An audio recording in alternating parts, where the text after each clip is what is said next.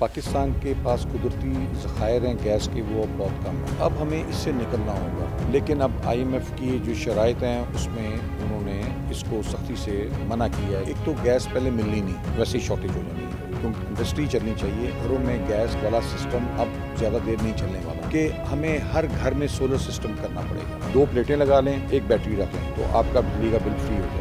Care taker और कभी interim setup सारा कुछ, हर किस्म का तजर्बा करके और हम फेल होके बैठे हुए हैं। एक आता है लेके, वो इस तरफ़ चल पड़ता है, दूसरा आता है, वो लेके इस तरफ़ चल पड़ता है, तीसरा आता है, वो उधर को चल पड़ता है, चौथा इधर चल पड़ता है। एंड ऑफ़ द डे हम सेंटर में, समुद्र के दरमियान में खड़े होते हैं। अस्सलाम वालेकुम नाजरीन, मैं हूँ आपका मेज़बान अली तारिक और आप देख रहे हैं कैपिटल टीवी। नाजरीन, आज हमारे साथ एक्स सिटी डिस्ट्रिक्ट नाजम फैसलाबाद और एक्स सेक्रेटरी पार्लिमानी पेट्रोलियम के मौजूद हैं राना जाहिद तोसीफ साहब जो गैस की कीमतों पे इजाफा होने जा रहा है और सर्दियाँ आते ही गैस गायब हो जाती है। इन तमाम मसाइल का हल क्या है, ये भी हम बात करेंगे। आज इनसे और पेट्रोल की कीमतों से बहुत ज़्यादा शहरी परेशान रहते हैं। इसके अलावा रूस से तेल तो आया, लेकिन वो पाकिस्तान के किसी काम ना आया वो भी बात करेंगे आज इनसे कि ऐसा तेल जब आ रहा है तो क्या वो पाकिस्तान में कारामद साबित हो भी सकता है कि नहीं हो सकता? ये तमाम बातें जो हैं राना साहब से जानेंगे। असल सर। वालेकुम अस्सलाम। सर सबसे पहले तो शुक्रिया आपका अपना कीमती वक्त निकालने का। आपका शुक्रिया आप अच्छा, सबसे पहले सर ये बताइएगा कि जैसी सर्दियाँ आती हैं बल्कि अब तो गर्मियों में भी घरेलू सार्फिन जो हैं नौ बजे के बाद दस बजे के बाद गैस नहीं आती और उससे इतने ज़्यादा मसाइल हैं। और जो फैक्ट्रीज़ हैं इंडस्ट्रीज़ है हमारी वो भी खासी परेशान है कि गैस ना होने से फैक्ट्रीज़ इंडस्ट्री बंद हो रही है। इसका हल क्या है और पाकिस्तान के पास अब कितनी जो है गैस रह गई है? आगे क्या मज़ीद मुश्किल आएँगी? ये बताइए। जी बहुत शुक्रिया आपका। आ, असल में जो मेन प्रॉब्लम है वो गैस हमारे पास पाकिस्तान में डिमांड ज़्यादा है और सप्लाई कम है। जो पाकिस्तान के पास कुदरती ज़खायर हैं, गैस के, वो अब बहुत कम हैं। वो पाकिस्तान की जो जितनी ज़रूरत है, उसके वो 20-25 परसेंट भी नहीं मीट करते। तो और वो भी ख़त्म होने की तरफ़ जा रहे हैं। तो गैस हमें मंगानी पड़ती है एलपीजी बाहर के मुल्कों से, कतर से मंगाते हैं। दुनिया पूरी ले रही है उससे। उसकी वजह से वो आजकल बहुत महँगी है, क्योंकि रशिया वॉर जो हुई है तो यूरोप को गैस की सप्लाई थी रशिया से। वो बंद कर दी रशिया ने तो उससे अब उन्होंने एलएनजी परचेज़ करनी शुरू कर दी कतर से, जिसकी वजह से एलएनजी की डिमांड बहुत बढ़ गई और गैस बहुत महँगी दुनिया में हो गई है। अब पाकिस्तान में हमें ये देखना होगा कि हम गैस, हर घर में हमने गैस दे दी है। शहरों में, देहातों में हर जगह पर गैस है। हम गैस पे ही डिपेंड करते हैं, गैस आए तो हम हांडी रोटी पकाएँगे। अब हमें इससे निकलना होगा, क्योंकि गैस आएगी, बाहर से इंटरनेशनल रेट पे आएगी, महँगी होगी। आगे हुकूमत अपने पास से पैसे डालकर सब्सिडी में सस्ती गैस देती थी घरेलू सार्फिन को और इंडस्ट्री को। लेकिन अब आईएमएफ की जो शराइ हैं, उसमें उन्होंने इसको सख्ती से मना किया है कि आपने जो रेट आता है आपने घाटा नहीं करना उसको उस रेट में सार्फिन तक पहुँचाएँ। मतलब आने वाले टाइम पे आप ये कह रहे हैं कि जैसे बिजली के बिलों से लोग परेशान हैं गैस के बिलों से भी परेशान होने जा रहे हैं? एक तो गैस पहले मिलनी नहीं। मिलनी नहीं। वैसे ही शॉर्टेज हो जानी है क्योंकि इसमें बड़ा ज़र मुबादला हमारा बाहर हम भेजते हैं डॉलर्स भेजते हैं हम गैस मंगाते हैं और उसको जला देते हैं और जलाते हैं हांडी रोटी बनाने में। हम्म, अगर तो हम इसे इंडस्ट्री चलाएँ उसका फ़ायदा है उससे एक्सपोर्ट्स होंगी और ज़र मुबादला आएगा। सबसे पहले प्रायरिटी होनी चाहिए इंडस्ट्री की। इंडस्ट्री चलनी चाहिए। घरों में जो गैस है घरों में गैस वाला सिस्टम अब ज़्यादा देर नहीं चलने वाला। उसका मुतबादल क्या होगा सर मुतबादल अल्लाह ताला ने हमें हर नेमत से नवाजा है। हमारे पास इतना सूरज है ऊपर कि हमें हर घर में सोलर सिस्टम करना पड़ेगा। सोलर से चूल्हे चलेंगे सोलर से गीज़र चलेंगे सोलर से ही फ्रिजें चलेंगी आपकी, टेलीविज़न चलेंगे। आपको दो प्लेटें घर, एक घर में दो प्लेटें लगनी है, एक मैं आम घर की बात कर रहा हूँ, दो मरले का घर है, तीन मरले का घर है। दो प्लेटें लगा लें, एक बैटरी रख लें तो आपका बिजली का बिल फ्री हो जाता है।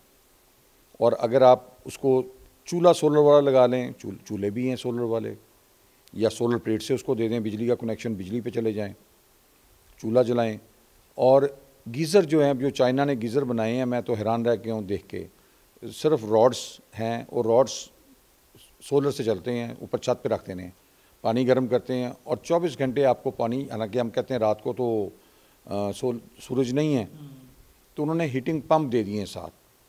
हीटिंग पंप जो है उसको सर्कुलेट करता है और उसको पानी को गर्म रखता है। और सोलर से आप पूरी सर्दियों में आपका बिल ज़ीरो हो जाएगा गैस का। और आपको हीटिंग भी गैस पे जानी पड़ेगी। या सोलर पे जाना जैसे कि आप बता रहे हैं कि आने वाले दिनों में गैस नहीं होगी तो ये तमाम तो चीज़ें बदल जाएँगी। सोलर पे अगर आ जाएँगी तो इस पर हुकूमत कोई काम कर रही है? या आप क्या कहना चाहेंगे हुकूमत को गवर्नमेंट को कि इस पर काम उन्होंने कुछ किया है? उनका होमवर्क है?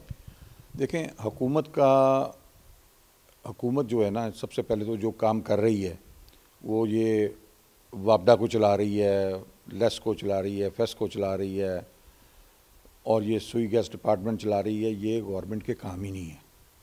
अच्छा। हाँ ये गवर्नमेंट का काम नहीं है कि वो आके ये सब प्राइवेट सेक्टर में होना चाहिए।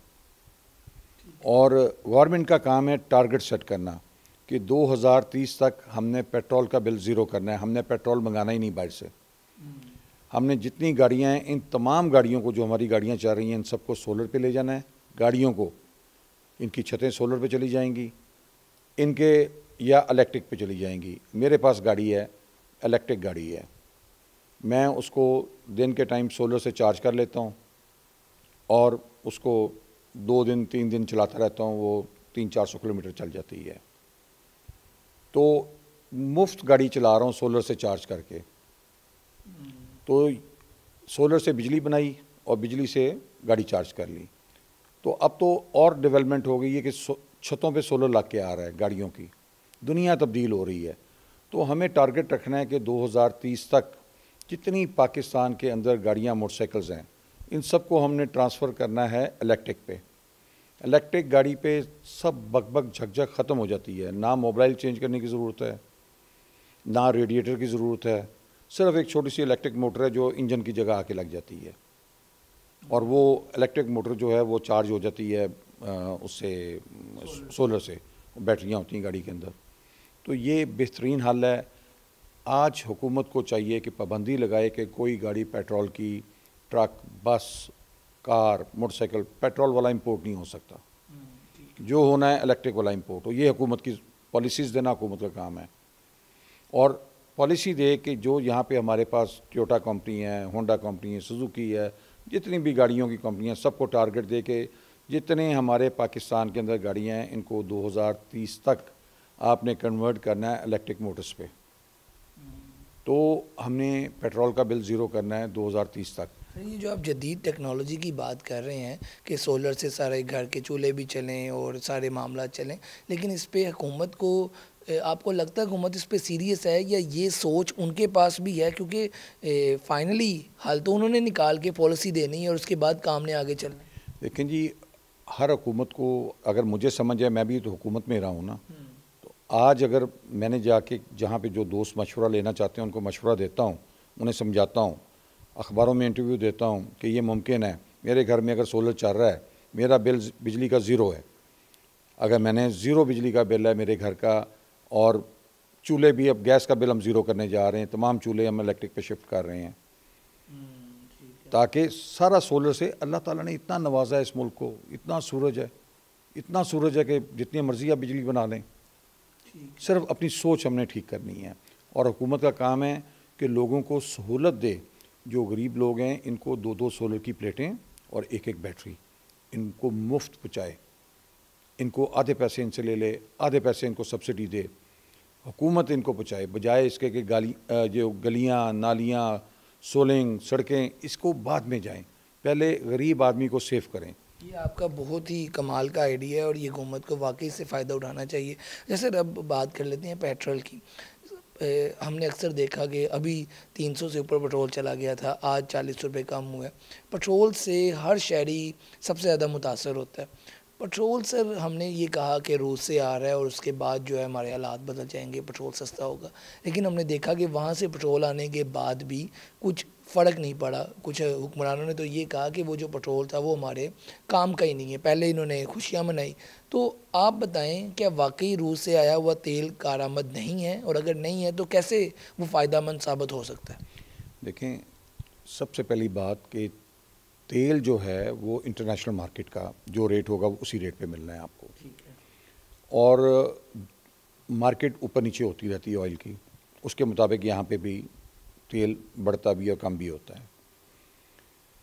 तो जो रशिया से तेल आया क्रूड ऑयल आता है।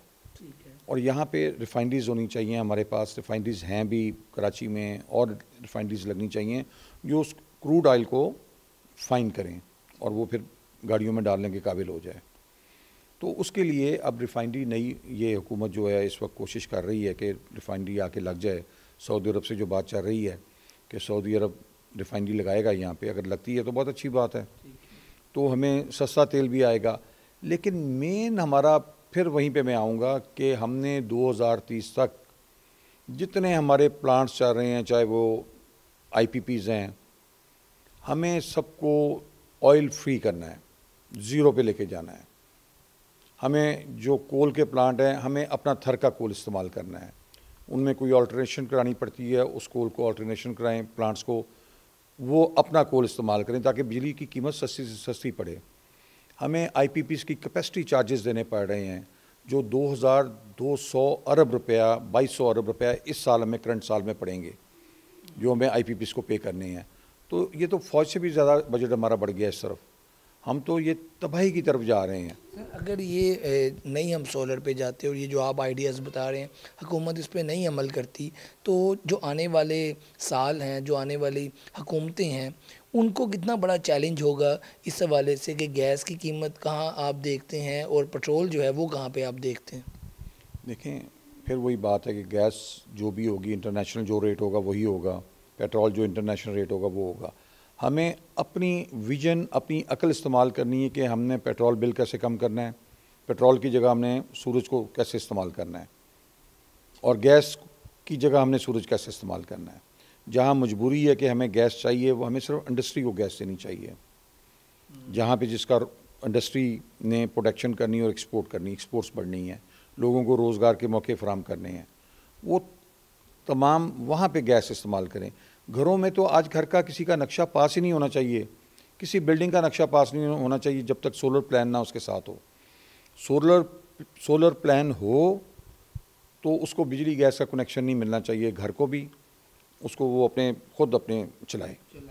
आप बिजनेसमैन भी हैं तो ये बताइएगा कि अभी कितना मुश्किल है एक बिजनेसमैन को काम करना? क्योंकि गैस का मसला पड़ा हुआ है पेट्रोल का मसला पड़ा हुआ है तो अभी तक तो सोलर पे नहीं गया तो मसाइल क्या हैं एक बिजनेसमैन को? देखिए जी इस वक्त हम बड़ी ख़तरनाक सूरत हाल में डे बाई डे जा रहे हैं। अच्छा। हाँ तमाम इंडस्ट्री बंद होने की तरफ़ चली जाएगी क्योंकि बिजली गैस का रेट डे बाई डे बढ़ रहा है बजाय कम होने के। और डॉलर का रेट जो है वो नीचे आ रहा है, कम हो रहा है। तो या तो बिजली का भी रेट कम हो, गैस का भी रेट कम हो, बाकी भी चीज़ों की कीमतें कम हों तो हम, हमारी प्रोडक्ट जो है वो उसकी प्राइस कम हो जाएगी और हम दुनिया में बेचने के काबिल हो जाएँगे। आज हमारा माल दुनिया में बिक, बिकना बंद हो गया है, क्योंकि हमारा बिजली के रेट ज़्यादा हैं, हमारे बैंकों के, दुनिया में तीन परसेंट का रेट है, बैंकों का हमारा यहाँ पे पच्चीस परसेंट पर चला गया है। दुनिया में सेवन सेंट की एनर्जी है हमारे पंद्रह सेंट पे हम एनर्जी का रेट चला गया है। कैसे मुमकिन है कि हम इंडिया बांग्लादेश वियतनाम और श्रीलंका और इजिप्ट और मराको इनका कैसे मुकाबला करेंगे? कर ही नहीं सकते। तो हम आहिस्ता आहिस्ता बंद होने की तरफ़ इंडस्ट्री जा रही है। बेरोज़गारी बढ़ेगी, लोगों के बिजली के बिल बढ़ रहे हैं, लोगों के गैस के बिल बढ़ रहे हैं, लोग परेशानी में मुबतला हैं कि राशन लाएँ या ये सब कुछ हम तबाही की तरफ़ जा रहे हैं। हमें इसको फ़ौर इमीडिएट स्टेप लेने हैं और जिस तरह इस वक्त जो निगरान हुकूमत है, इसको पीछे जो कंट्रोल कर रहे हैं, उनको अच्छी जो पॉलिसीज़ हैं, इससे बेहतरी आएगी। सबसे पहले स्मगलिंग को रोकना था। वो रोकी है किसी हद तक। समगल आइटम इस मुल्क के अंदर नहीं एंटर होनी चाहिए एक चीज़ भी। क्यों? अगर कोई चीज़ आई है वाया कस्टम आए। जिस चीज़ की इजाज़त है, वो वाया कस्टम आए कस्टम उसका पे हो और वो आए। यहाँ पे तो हर दुकान हर दुकान पर आप देख लें इम्पोर्टेड माल पड़ा हुआ है जो मर्ज़ी ले लें।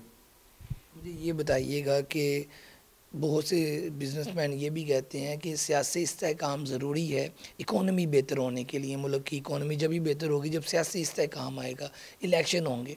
आप भी एक बिजनेसमैन हैं आप क्या समझते हैं कि वाकई इलेक्शन ही इकोनॉमी का भी हल है या फिर आपको लगता है कि ये एक चीज़ नहीं सही? इस मुल्क में बहुत बार बहुत तजर्बे हो गए। बहुत तजर्बे हो गए और तजर्बे आप देखें कि कभी सियासी और केयर टेकर और कभी इंटरम सेटअप सारा कुछ, हर किस्म का तजर्बा करके और हम फेल हो के बैठे हुए हैं। इंडिया हमारा हमसाया मुल्क है, वो कहाँ से कहाँ चला गया? बांग्लादेश जिसको हम समझते थे कि शायद हमारा मगरबी पाकिस्तान इसको इस पाकिस्तान का बोझ उठा रहा है, वो सारा गलत साबित हुआ है। आज वो हमसे इतना आगे चले गए कि हम उनके मुकाबले में रह ही नहीं गए। तो उनकी पॉलिसीज़ ठीक हैं। यहाँ पे पॉलिसीज़ का में तसलसल नहीं है। एक लीडर आता है वो आके पाकिस्तान इस तरह है जिस तरह पाकिस्तान एक बैरी जहाज़ है शिप है और समुंदर के दरमियान में है। एक आता है लेके वो इस तरफ़ चल पड़ता है दूसरा आता है वो लेके इस तरफ़ चल पड़ता है तीसरा आता है वो उधर को चल पड़ता है चौथा इधर चल पड़ता है। एंड ऑफ़ द डे हम सेंटर में समुंदर के दरमियान में खड़े होते हैं। तो इसको जब तक एक पॉलिसीज़ बन के उसका तसलसल नहीं होगा सबसे पहले तो फ्री एंड फेयर इलेक्शन होना चाहिए। जो हुकूमत जिसको लोग मंतखब करते हैं वो आए और वो लोगों के लिए काम करे। और या तो ये निज़ाम चले फिर। ये नहीं हो सकता कि उसमें मुदाखलत हो। मतलब कि आप ये कह रहे हैं कि कोई भी जब सियासी जमात आती है तो वो कंटिन्यू करे अपने पाँच साल मुकम्मल करे। और जो इकोनॉमी की पॉलिसी हैं वो ना तब्दील हो कि हर कोई आए इसको छेड़खानी करे और लोग जो है डिस्टर्ब हो। अच्छा सर ये बताइएगा कि आप सेक्रेटरी भी रहे हैं और सियासत पे भी आपकी गहरी नज़र है। नवाज़ शरीफ साहब आ रहे हैं इक्कीस अक्टूबर को। तैयारियाँ भी की जा रही हैं। और नून लीग ये दावा कर रही है कि उनके आने से मामला पाकिस्तान के बेहतर हो जाएँगे। आप क्या समझते हैं कि उनके आने से एक बिजनेसमैन को वाकई फ़ायदा होगा या फिर ये भी सिर्फ़ ए, कुछ गलत फहमियाँ पैदा कर रहे हैं? देखें आ, सारा डिपेंड करता है कि नवाज़ शरीफ साहब आते हैं तो वो आके मेरा मतलब इन हालात में क्या डिलीवर कर सकते हैं। या तो डिलीवर होगा ना जी कि हमारे सबसे पहले आज फैसला होना चाहिए, जो हमारा इस मुल्क में रोज़ का रोज़ का अरबों रुपए का नुकसान कर रहे हैं इदारे, उनको तो आज बंद कर देना। पीआईए है, रोज़ का, अभी मैं सुन रहा था, मिनिस्टर साहब कह रहे थे जी पचास करोड़ रुपये रोज़ का नुकसान है। मेरे शनीद के मुताबिक सतारह करोड़ रुपये रोज़ का नुकसान था। ये नुकसान आज पीआईए आप प्राइवेट कर दें। आपको मुफ़्त देनी पड़ती, किसी को मुफ़्त दे दें। आज कम से कम आप जो ये अरबों रुपए का नुकसान कर रहे हैं, ये तो आज ब्रेक लगती है ना।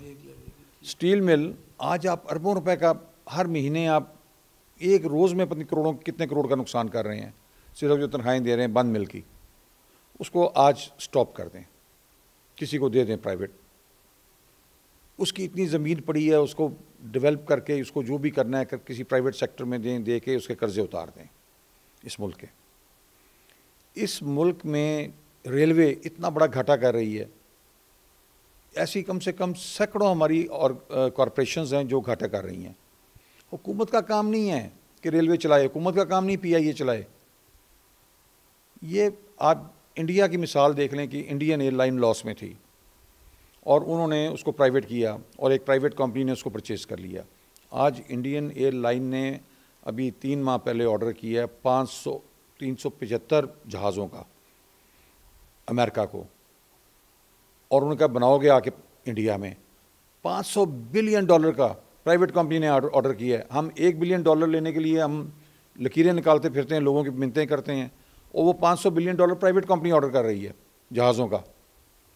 तो यहाँ पे ये पी आई प्राइवेट करें। रेलवे प्राइवेट करें स्टील मिल जितनी कॉरपोरेशन तमाम प्राइवेट करें। नुकसान में आप कह रहे हैं कि उनको प्राइवेट किया जाए। आज रोकें वो नुकसान आपका आज फ़ायदे में तब्दील हो जाएगा। नुकसान का किसी को फ़ायदा नहीं है। नुकसान नुकसान है। नुकसान बंद करें। फिर इस मुल्क का कर्ज़ा जो हमारे पे 130 बिलियन डॉलर का कर्ज़ा है वो तजवीज़ मैंने दी थी इनको हुकूमत को कि आप सिर्फ़ पाँच लाख बंदा हम पाकिस्तान के बाहर यहाँ पे इकट्ठा कर लें और उसके बदले हम कुछ दो दो लाख एकड़ ज़मीन जो हर शहर के आसपास ज़मीन इकट्ठी जो बंजर ज़मीनें हैं वो लेके डीएचए से डेवलप करा के और हमारे पास दस लाख प्लॉट आ जाता है दो लाख एकड़ से। हम सिर्फ़ पाँच लाख बंदा दो दो कनाल के अगर प्लॉट बेच दें और एक बंदे से दो लाख अट्ठावन हज़ार डॉलर बाहर ले लें बाहर ले लें तो हमारा 130 बिलियन डॉलर पूरा हो जाता है। तो हम कर्ज़ा उतार के फारग कर देते हैं दो लाख एकड़ के पीछे। और जो डीएचए ने अगर उसको डेवलप करना है तो वो कमर्शियल एरिए से अपनी कॉस्ट पूरी कर ले डेवलपमेंट की तो कर्ज़ा उतर सकता है। लेकिन सोचना पड़ेगा बैठना पड़ेगा। ये पॉलिसीज़ हैं। आपको पॉलिसीज़ बना के सीधे दो साल में कर्ज़ा उतरता है इस मुल्क का।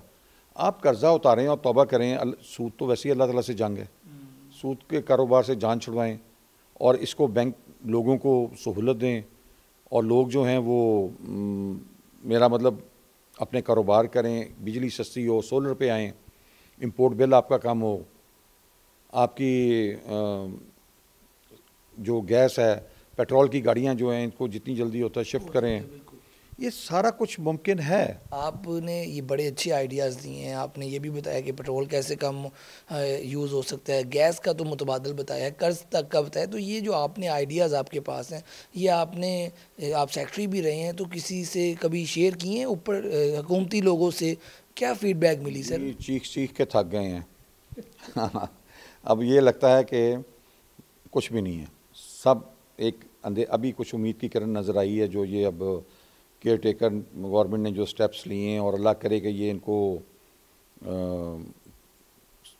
एंड तक पहुँचें सबसे पहले स्मगलिंग रोकें। वो तो आर्मी चीफ साहब ने भी बड़ा अहम कदम किया है। उनको मैं जो अच्छी चीज़ सही बात है जो इस मुल्क के लिए बेहतरी होगी हम अप्रिशिएट करेंगे। वो आर्मी चीफ करें वो कोई सियासी हुकूमत करे वो जो भी करे जो अच्छे काम हैं उनको हमने अप्रिशिएट करना है। लेकिन अब ये तमाशा बंद होना चाहिए। बिल्कुल हम दी एंड पे आ गए हैं। हमने जो हमारी नई जनरेशन है हम इनको क्या दे रहे हैं? ना हम इनको अच्छी तालीम दे रहे हैं। जो स्कूलों में बच्चे हैं उनको स्कूलों में बच्चे वो बेचारे हम मुसलमान हैं और हम कर क्या रहे हैं? हर चीज़ में मिलावट है।